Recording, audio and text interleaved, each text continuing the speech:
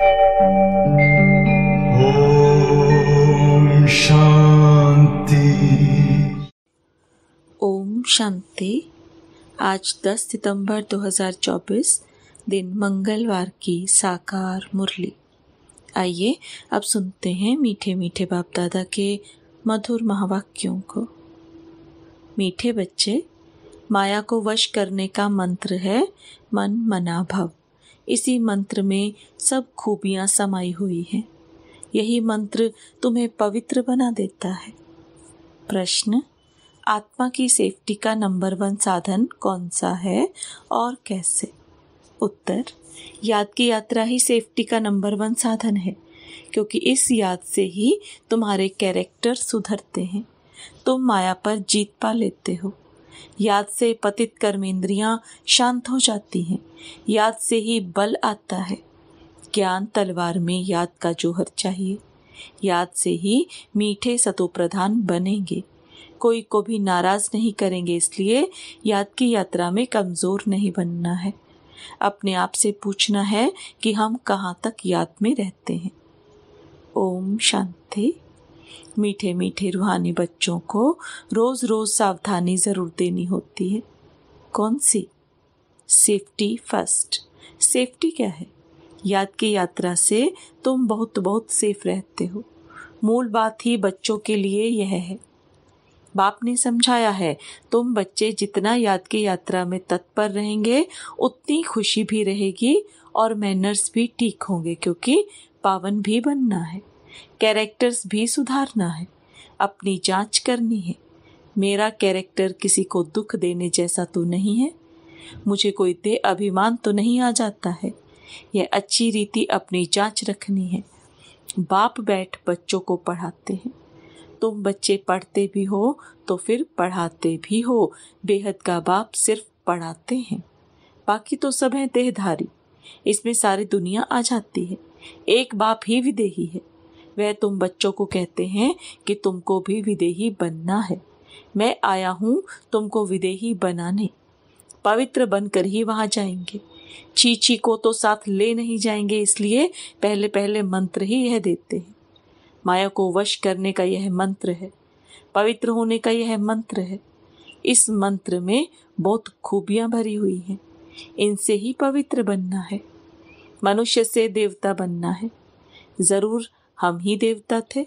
इसलिए बाप कहते हैं, अपनी सेफ्टी चाहो, मज़बूत महावीर बनना चाहो तो यह पुरुषार्थ करो। बाप तो शिक्षा देते रहेंगे, पर ड्रामा भी कहते रहेंगे। ड्रामा अनुसार बिल्कुल ठीक ही चल रहा है, फिर आगे के लिए भी समझाते रहेंगे। याद की यात्रा में कमज़ोर नहीं बनना है। बाहर रहने वाले बांधेली गोपिकाएँ जितना याद करती हैं, उतना सामने रहने वाले भी याद नहीं करते हैं, क्योंकि उनको तड़फन होती है शिबाबा से मिलने की। जो मिल जाते हैं, उन्हों का पेट जैसे कि भर जाता है। जो बहुत याद करते हैं, वह ऊंच पद पा सकते हैं। देखा जाता है अच्छे अच्छे बड़े बड़े सेंटर्स संभालने वाले मुख्य भी याद की यात्रा में कमज़ोर है। याद का जौहर बहुत अच्छा चाहिए। ज्ञान तलवार में याद का जौहर ना होने के कारण किसी को तीर लगता ही नहीं, पूरा मरते नहीं। बच्चे कोशिश करते हैं ज्ञान का बाण लगाकर बाप का बनाए व मर जीवा बनाए, परंतु मरते नहीं तो ज़रूर ज्ञान तलवार में गड़बड़ है। बाबा भल जानते हैं। ड्रामा बिल्कुल एक्यूरेट चल रहा है। परंतु आगे के लिए तो समझाते रहेंगे ना? हर एक अपने दिल से पूछो, हम कहाँ तक याद करते हैं? याद से ही बल आएगा, इसलिए कहा जाता है, ज्ञान तलवार में जोहर चाहिए। ज्ञान तो बहुत सहज रीति समझा सकते हैं। जितना जितना याद में रहेंगे, उतना बड़े मीठे बनते जाएँगे। तुम सतो प्रधान थे तो बहुत मीठे थे, अब फिर सतो प्रधान बनना है। तुम्हारा स्वभाव भी बहुत मीठा चाहिए। कभी रंज अर्थात नाराज़ नहीं होना चाहिए। ऐसा वातावरण ना हो जो कोई रंज हो। ऐसी कोशिश करनी चाहिए क्योंकि यह ईश्वरीय कॉलेज स्थापन करने की सर्विस बहुत ऊँची है। विश्वविद्यालय तो भारत में बहुत कहे जाते हैं। वास्तव में वह है नहीं। विश्वविद्यालय तो एक ही होता है। पाप आकर सबको मुक्ति, जीवन मुक्ति देते हैं। बाप जानते हैं, सारी दुनिया के जो भी मनुष्य मात्र हैं, सब खत्म होने हैं। बाप को बुलाया भी इसलिए है कि छीछी दुनिया का खात्मा और नई दुनिया की स्थापना करो। बच्चे भी समझते हैं, बरोबर बाप आया हुआ है। अभी माया का पॉम्प कितना है? फॉल ऑफ़ पॉम्पिया का खेल भी दिखाते हैं। बड़े बड़े मकान आदि बना रहे हैं। यह है पॉम्प सत्युग में इतने मंजिल के मकान बनते नहीं हैं। यहाँ बनते हैं क्योंकि रहने के लिए ज़मीन कम है। विनाश जब होता है, तब सब बड़े बड़े मकान भी गिर पड़ते हैं। आगे इतनी बड़ी बड़ी बिल्डिंग नहीं बनती थी। बॉम्ब्स जब छोड़ेंगे तो ऐसे गिरेंगे जैसे ताश के पत्ते गिरते हैं। इसका मतलब यह नहीं कि वह मरेंगे, वही मरेंगे, बाकी दूसरे रह जाएँगे। नहीं, जो जहाँ होगा, चाहे समुद्र पर हो, पृथ्वी पर हो, आकाश में हो, पहाड़ों पर हो, उड़ रहा हो। सब खत्म हो जाएँगे। ये पुरानी दुनिया है ना? जो भी चौरासी लाख योनियाँ हैं, ये सब खत्म हो जानी है। वहाँ नई दुनिया में ये कुछ भी नहीं होगा। न इतने मनुष्य होंगे, न मच्छर, न जीव जंतु आदि होंगे। यहाँ तो ढेर के ढेर हैं। अब तुम बच्चे भी देवता बनते हो तो वहाँ हर चीज़ सतो प्रधान होती है। यहाँ भी बड़े आदमी के घर में जाएँगे तो बड़ी सफ़ाई आदि रहती है। तुम तो सबसे जास्ती बड़े देवता बनते हो। बड़े आदमी भी नहीं कहेंगे। तुम बहुत ऊँचे देवताएँ बनते हो। ये कोई नई बात नहीं है। पाँच हज़ार वर्ष पहले भी तुम यह बने थे नंबर वार। या इतना कीचड़ा आदि वहाँ कुछ भी नहीं होगा। बच्चों को बड़ी खुशी होती है। हम बहुत ऊंच देवता बनते हैं। एक ही बाप हमको पढ़ाने वाला है जो हमको बहुत ऊंच बनाते हैं। पढ़ाई में हमेशा नंबर वार पोजीशन वाले होते हैं। कोई कम पढ़ते हैं, कोई जास्ती पढ़ते हैं। जब बच्चे पुरुषार्थ कर रहे हैं बड़े बड़े सेंटर्स खोल रहे हैं, इसलिए कि बड़ों बड़ों को मालूम पड़े। भारत का प्राचीन राजयोग भी गया हुआ है। खास विलायत वालों को जास्ती उत्सुकता होती है, राजयोग सीखने की। भारतवासी तो तमो प्रधान बुद्धि है, वह फिर भी तमो बुद्धि है, इसलिए उन्हों को शौक रहता है भारत का प्राचीन राजयोग सीखने का। भारत का प्राचीन राजयोग नामी ग्रामी है, जिससे ही भारत स्वर्ग बना था। बहुत थोड़े आते हैं जो पूरी रीति समझते हैं। स्वर्ग हेवन पास हो गया, सो फिर होगा ज़रूर। हेवन अथवा पैराडाइज है सबसे वंडर ऑफ़ वर्ल्ड। स्वर्ग का कितना नाम वाला है? स्वर्ग और नर्क, शिवालय और वैशाल्य। बच्चों को अब नंबर वार याद है कि हमको अब शिवालय में जाना है। वहाँ जाने के लिए शिव बाबा को याद करना है। वही पंडा है सबको ले जाने वाला। भक्ति को कहा जाता है रात, ज्ञान को कहा जाता है दिन। यह बेहद की बात है। नई चीज़ और पुरानी चीज़ में बहुत फ़र्क होता है। अब बच्चों की दिल होती है। इतनी ऊंचते ऊंच पढ़ाई, ऊँचे ते ऊँचे मकान में हम पढ़ाए तो बड़े बड़े लोग आएँगे। एक एक को बैठ समझाना पड़ता है। वास्तव में पढ़ाई व शिक्षा के लिए एकांत में स्थान होते हैं। ब्रह्म ज्ञानियों के भी आश्रम शहर से दूर दूर होते हैं और नीचे ही रहते हैं। इतने ऊपर की मंजिल पर नहीं रहते। अभी तो तमो प्रधान होने से शहर में अंदर घुस पड़े वह ताकत खत्म हो गई है। इस समय सबकी बैटरी खाली है। अब बैटरी को कैसे भरना है? यह बाप के सिवाय कोई भी बैटरी चार्ज कर ना सके। बच्चों को बैटरी चार्ज करने से ही ताकत आती है। उसके लिए मुख्य है याद। उसमें ही माया के विघन पड़ते हैं। कोई तो सर्जन के आगे सच बतलाते हैं, कोई छिपा लेते हैं। अंदर में जो खामियाँ हैं, वह तो बाप को बतलानी पड़े। इस जन्म में जो पाप किए हैं, वह अविनाशी सर्जन के आगे वर्णन करना चाहिए। नहीं तो वह दिल अंदर खाता रहेगा। सुनाने के बाद फिर खाएगा नहीं। अंदर रख लेना। यह भी नुकसानकारक है। जो सच्चे सच्चे बच्चे बनते हैं, वह सब बाप को बतला देते हैं। इस जन्म में यह यह पाप किए हैं। दिन प्रतिदिन बाप ज़ोर देते रहते हैं। ये तुम्हारा अंतिम जन्म है। तमो प्रधान से पाप तो ज़रूर होते होंगे ना? बाप कहते हैं, मैं बहुत जन्मों के अंत में जो नंबर वन पतित बना है, उनमें ही प्रवेश करता हूँ, क्योंकि उनको ही फिर नंबर वन में जाना है। बहुत मेहनत करनी पड़ती है।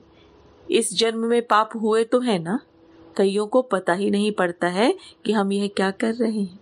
सच नहीं बतलाते हैं। कोई कोई सच बतला देते हैं। बाप ने समझाया है। बच्चे, तुम्हारी कर्मेंद्रियाँ शांत तब होती हैं जब कर्मातीत अवस्था बनती है। जैसे मनुष्य बूढ़े होते हैं तो कर्मेंद्रियाँ ऑटोमेटिकली शांत हो जाती हैं। इसमें तो छोटेपन में ही सब शांत हो जाना चाहिए। योग बल में अच्छी तरह रहे तो इन सब बातों की एंड हो जाए। वहाँ कोई ऐसी गंदी बीमारी, कीचड़ पट्टी आदि कुछ नहीं होता है। मनुष्य बड़े साफ़ शुद्ध रहते हैं। वहाँ है ही राम राज्य, यहाँ है रावण राज्य। तो अनेक प्रकार की गंदगी की बीमारियाँ आती हैं। सतयुग में ये कुछ होती नहीं।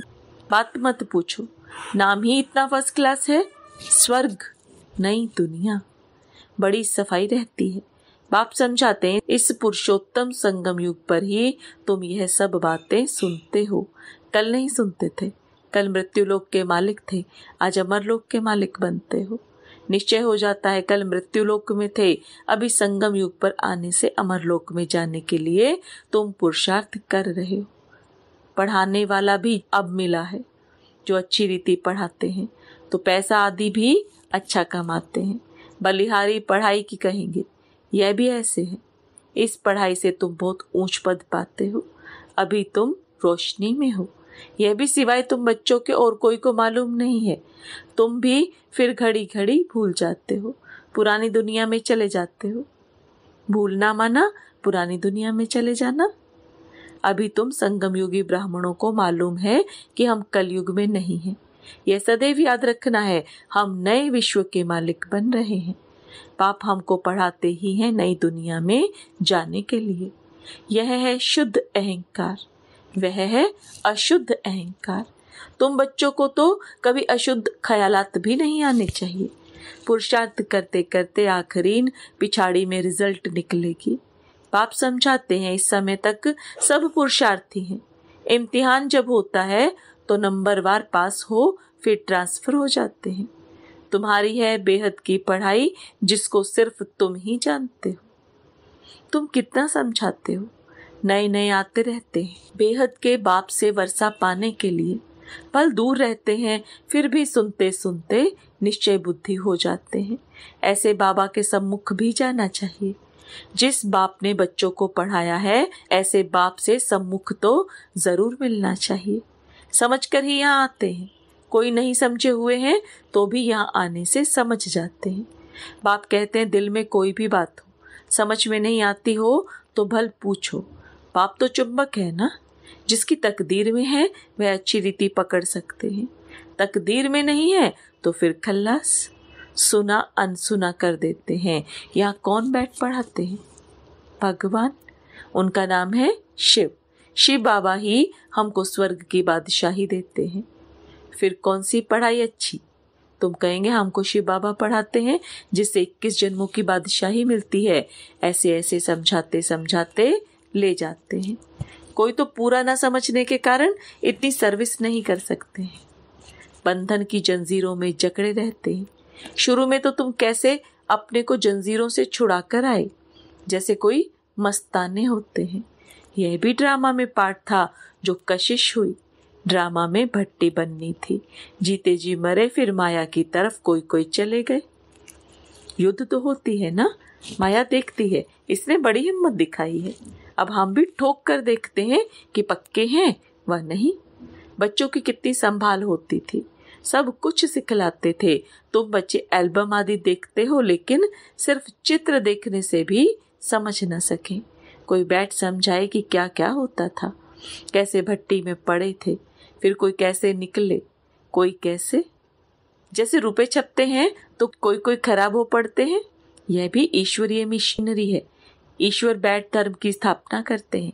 यह बात किसी को भी पता नहीं है। बाप को बुलाते भी हैं, परंतु जैसे तवाई समझते ही नहीं। कहते हैं, यह कैसे हो सकता है? माया रावण एकदम ऐसा बना देती है। शिव बाबा की पूजा भी करते हैं। फिर कह देते, सर्वव्यापी।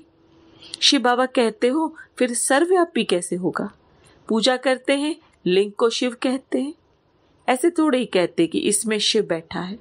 अब पत्थर ठिक्कर में भगवान को कहना तो क्या सब भगवान ही भगवान है? भगवान अनलिमिटेड तो नहीं होंगे ना? तो बाप बच्चों को समझाते हैं।